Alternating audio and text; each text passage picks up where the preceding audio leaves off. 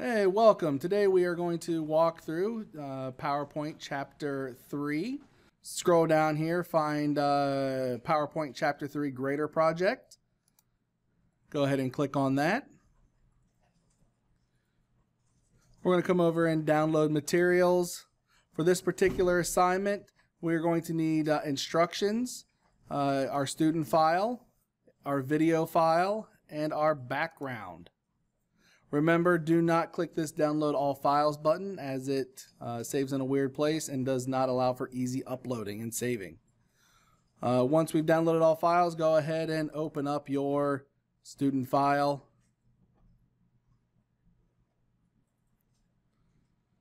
Click on enable editing and we are done with step one and ready to move to step number two.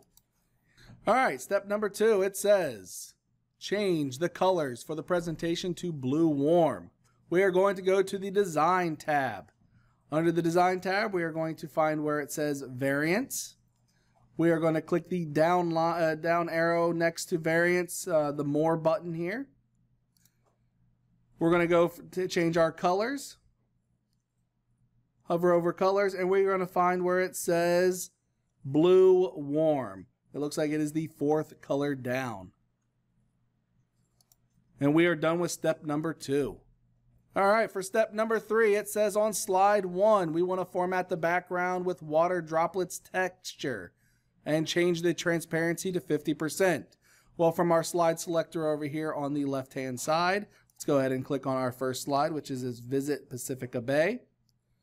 We are going to come up here to our Design tab. Under our Design tab, we are going to come where it says uh, Customize Format Background. Click on Format Background. We are looking for a texture fill. So let's uh, put a dot next to picture or texture fill. We're going to scroll down here to where it says texture. We're going to click the down arrow of this uh, texture icon right here. And we're going to find water droplets. If we hover over it right here, it says water droplets.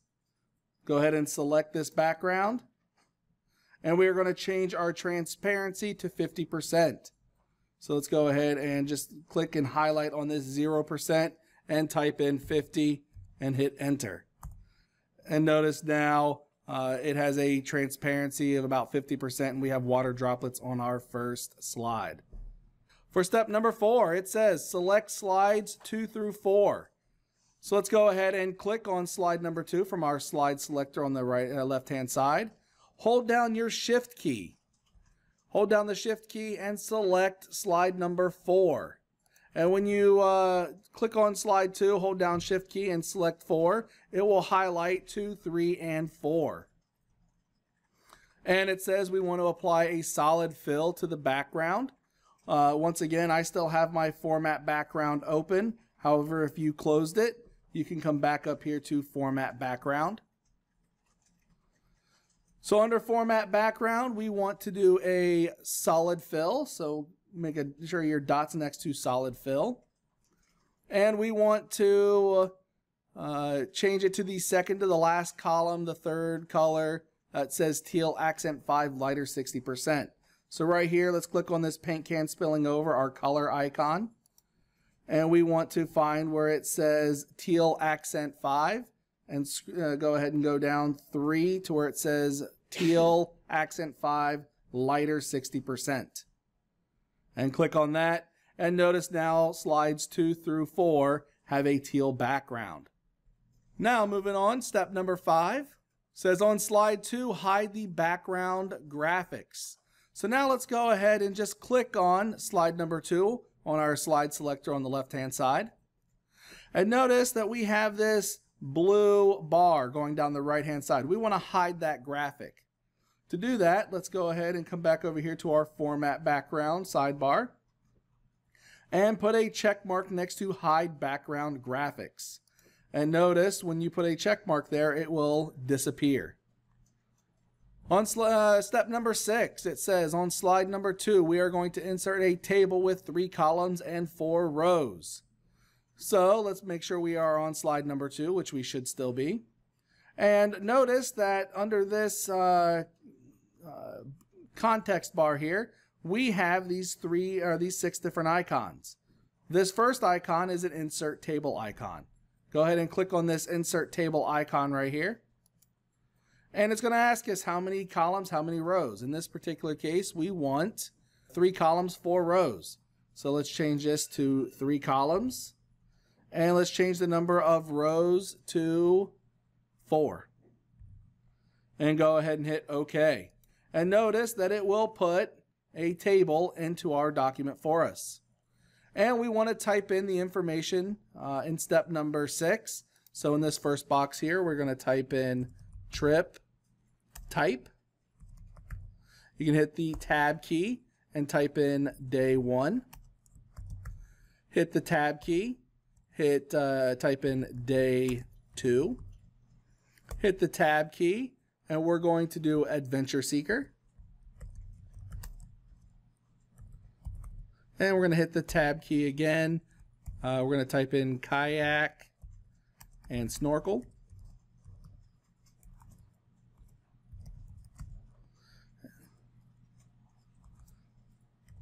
Make sure you get your spelling correctly. Hit the tab key. We're going to type in nature preserve hike.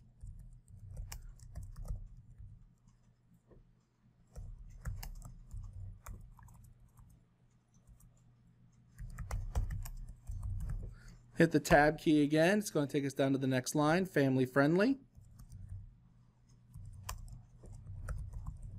Hit the tab key, Pacifica Bay Zoo.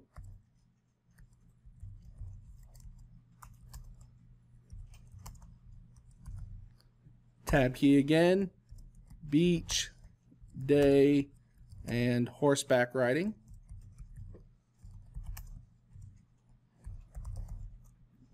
Tab key again, arts and culture. Make sure you use the and uh, sign the number seven button. Tab key, Pacifica Bay Art Museum.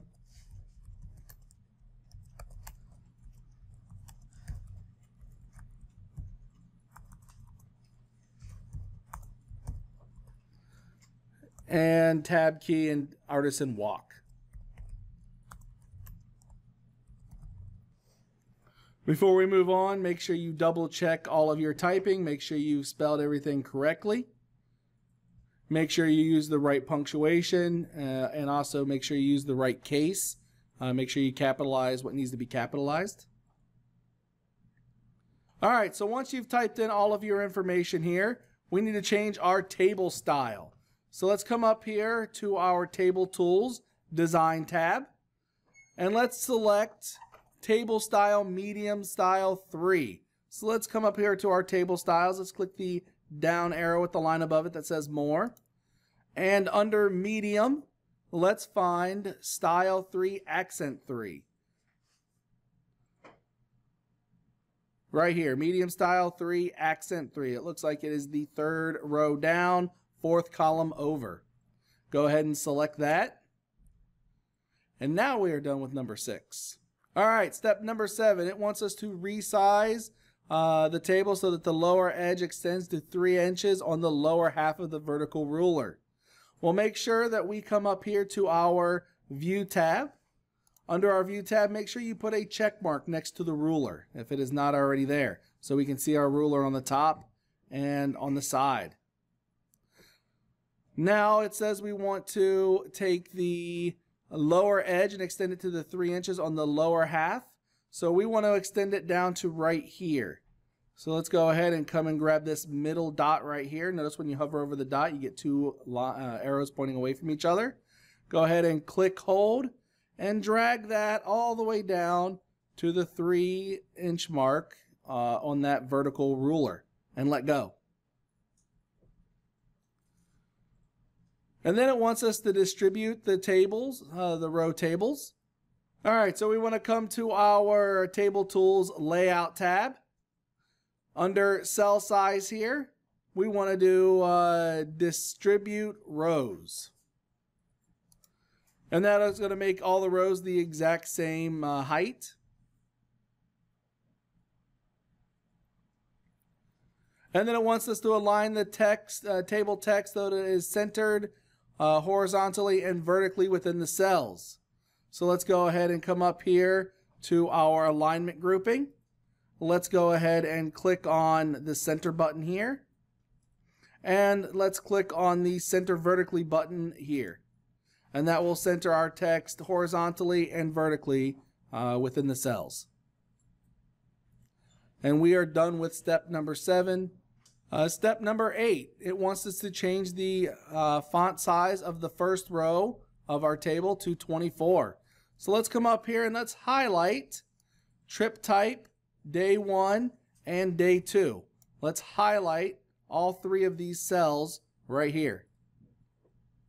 Once you've highlighted those three cells, let's come to the Home tab. Under the Home tab, where it says Font Grouping, we are going to change the font size to 24. It also wants us, to apply a circle style cell bevel. We're going to go back to the Table Tools Design tab.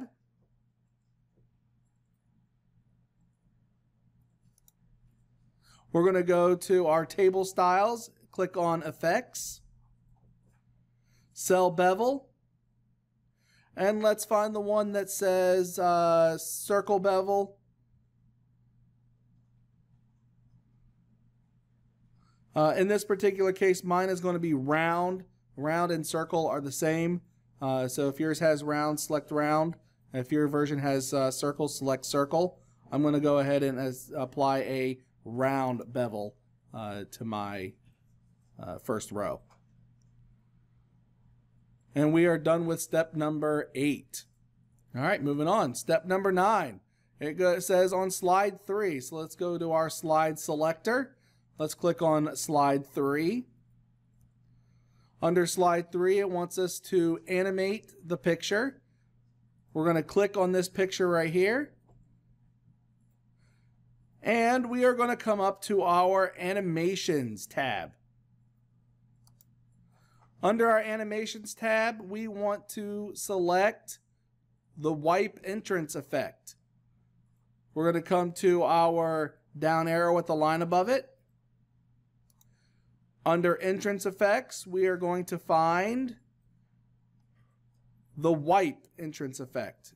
Here it is, wipe entrance effect. And it'll give us a little preview of what it's going to do uh, when we uh, select when we come to this slide in our PowerPoint presentation. Uh, it also wants us to change the uh, starting uh, effect starting after previous. Let's come over here to our timing grouping right here where it says start on click. Let's change that to after previous. It also wants us to change the duration to one second. So where it says duration 0.5, let's change this to one. So let's uh, delete the, uh, so we're going to do one, uh, 0, 1, 0.00.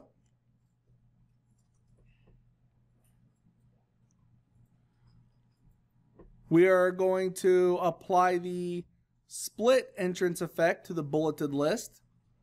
Click on the bulleted list right here.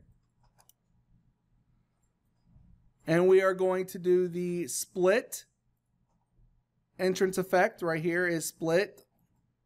If you don't see it on this uh, bar here, you can click on the down arrow at the line above it. Under the entrance, it's split right here. Give us a quick preview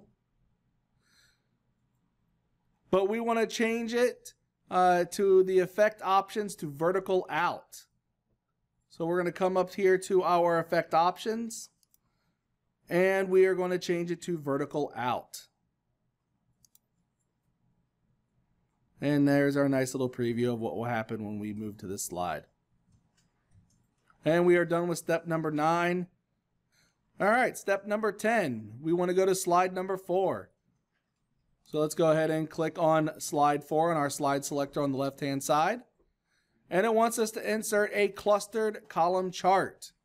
We're going to come over here to our uh, placeholder And notice that the second icon is Insert Chart. Click on Insert Chart, a clustered column chart. It shows up the very first one for us. Click on uh, Clustered Column Chart and hit OK. And once the chart comes in, notice how it opens up this chart in Microsoft PowerPoint. This is where we're going to put in all of our information. So it says in row 1, beginning in cell B1, where it says Series 1. Let's go ahead and double click in this cell. Delete Series 1 and type in 2017. Then hit the Tab key. It's going to move us over to Series 2. And let's go ahead and put in 2018.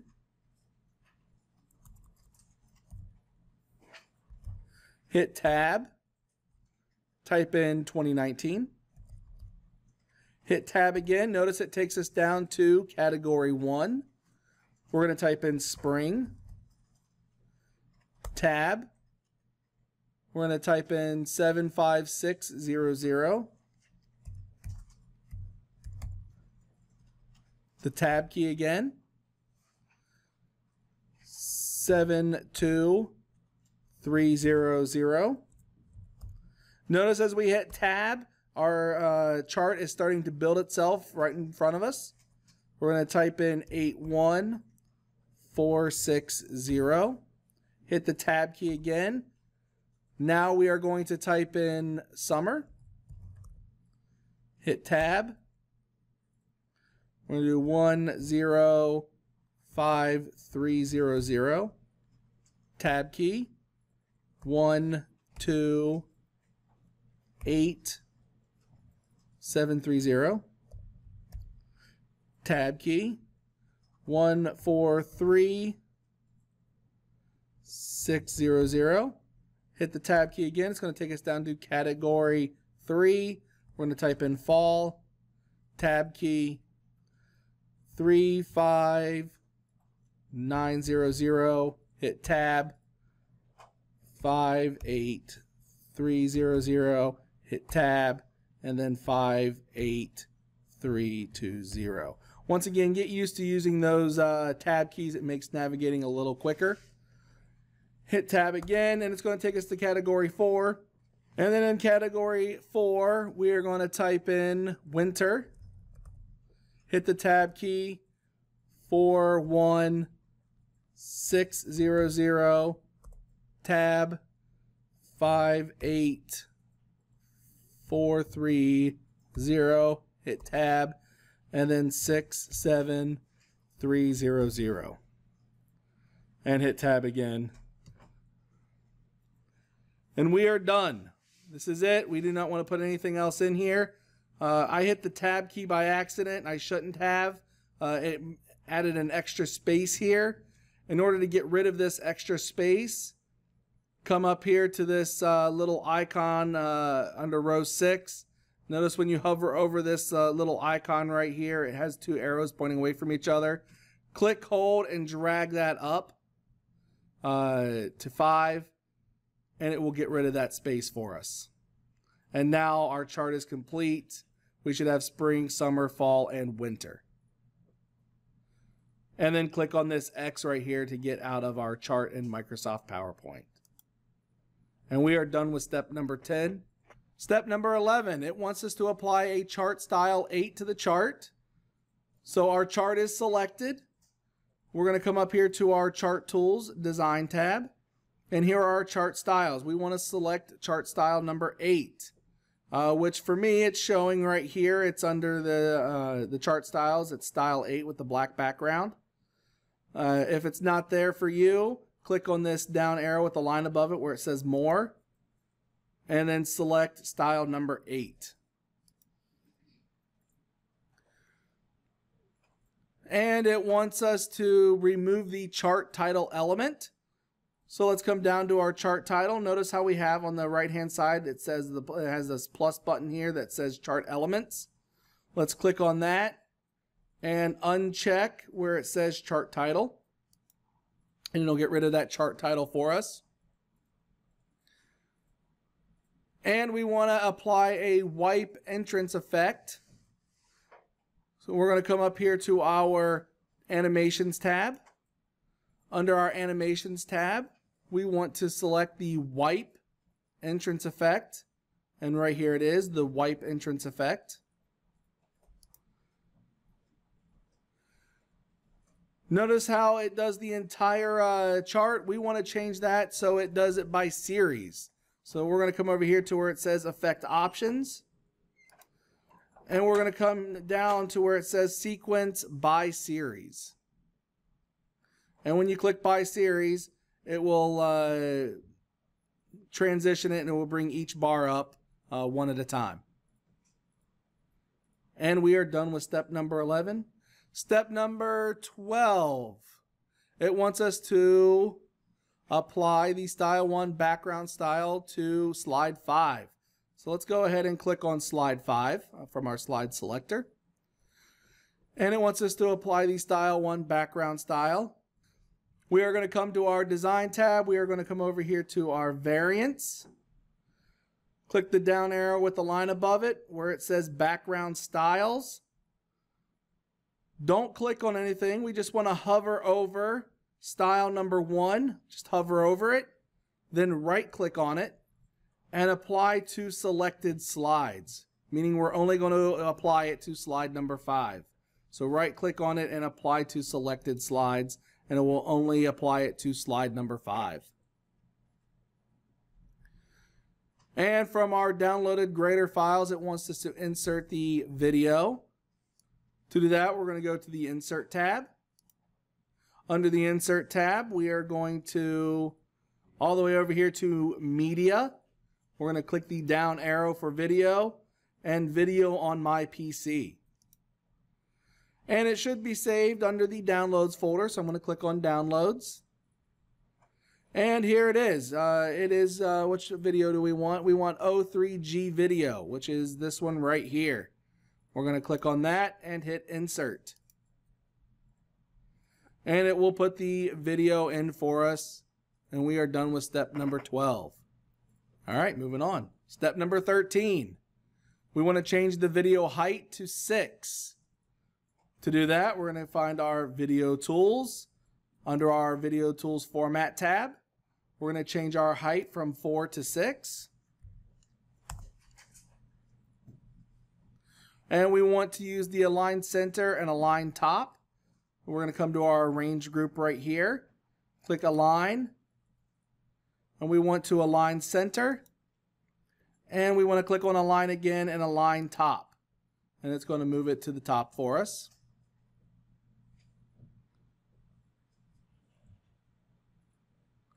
We also want to apply the soft edge effect uh, rectangle video style. So notice we have our video styles right here. We're going to click the down arrow with the line above it that says more. And it is going to be uh, soft edge rectangle video style. Soft edge rectangle. Looks like it is the third one under subtle right here. And click on that. Notice how it has nice fuzzy uh, border around it. And we are done with step number 13. Step number 14, on the playback tab. We're going to come up here to our video tools. We're going to click on our playback tab. Under our playback tab, it wants us to change the video options to start automatically. So right here where it says start in sequence, click the down arrow and click automatically. We want to trim the video so that the end time is 00 colon 09. To do that, we are going to trim video under editing. And we can move this red bar here if we like.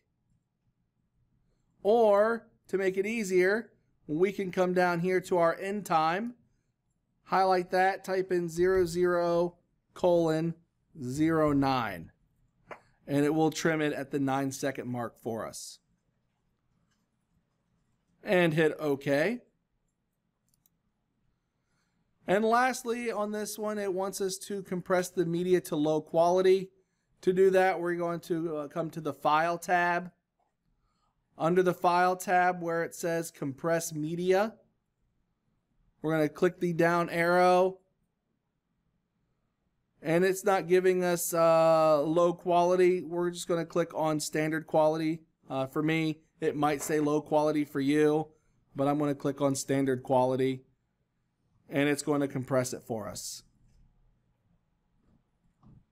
Once it's done compressing, go ahead and hit close. And click on our back arrow right here, and it will take us back to our presentation. And we are done with step number 14. Step number 15, it says on slide number 6, hide the background graphic. Well, I'm going to come down here to slide number uh, 6. I still have my format uh, tab open over here, slide bar open over here. I'm going to close out of that real quick. You don't have to. But for those of you who do not have it open, you can click on slide 6. Go to our design tab. Under our design tab, under customize, click on format background to open up that sidebar. And on slide 6, we want to hide our background graphic. So put a check mark next to hide background graphic. And then we want to format the uh, slide background by inserting the picture uh, that we downloaded. So we're going to do, uh, we're going to put a dot next to picture or texture fill. From insert picture from, we're going to click on file. We're going to navigate to our downloads folder because that's where it should be.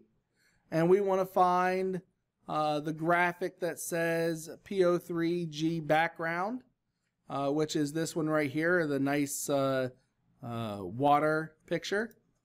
Click on that and hit insert. And there it is. There is a nice uh, beach uh, background. And it wants us to set the transparency to zero. So right now we have transparency set at 50. Let's highlight that 50, type in zero, hit enter. And that way it is no, no transparency. We can now see the full picture. And we are done with step number 15. Step number 16, we want to insert a header footer on our notes and handout section. To do that, we are going to click on the Insert tab. Under the Insert tab, under the text grouping here, we're going to click on Header Footer. And we want to make sure we select Notes and Handouts. Under Notes and Handouts, we want to uh, put a check mark next to date and time. Uh, we want to make sure it's updated automatically. We want to put uh, a check mark next to page number. From page number, we want to add a footer. And under footer, we want to type in travel presentation.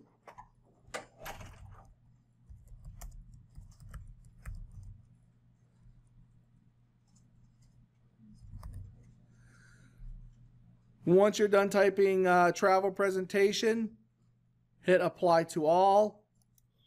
And we are going to put a ta document property. So let's go to our file tab here. Under tags, we're going to add a tag. We're going to type in travel, comma, space, tourism. And go ahead and save our document. And we are done with number 16. Step number 17, it wants us to view the slideshow from the beginning. To show, uh, look at the slideshow, we're going to come up here to the slideshow tab. And we're going to click on from beginning. And for yours, uh, it'll look a little differently. I'm hooked up to a presentation. I'm hooked up to a projector. But just go through all the slides. Uh, hit the space bar. Hit the space bar. Notice how all of our animations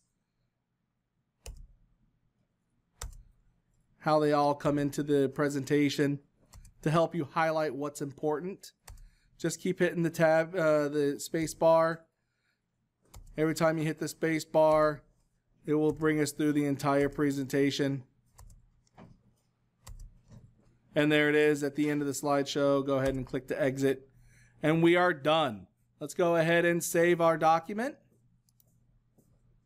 Once we're done saving our document, we can go ahead and close out of it. Come back to our assignment calendar here.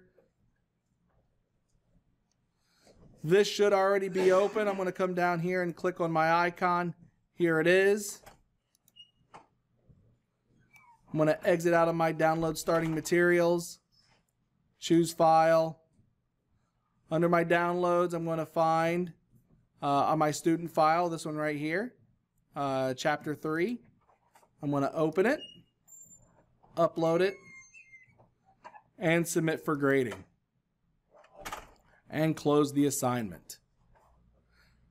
I want to double check my work, see how I did. I'm going to scroll back down to my grader project. I'm going to click on the three dots, view submissions, and I got 100%. If you want to click and see your grade, you can click on this, see if you did anything wrong.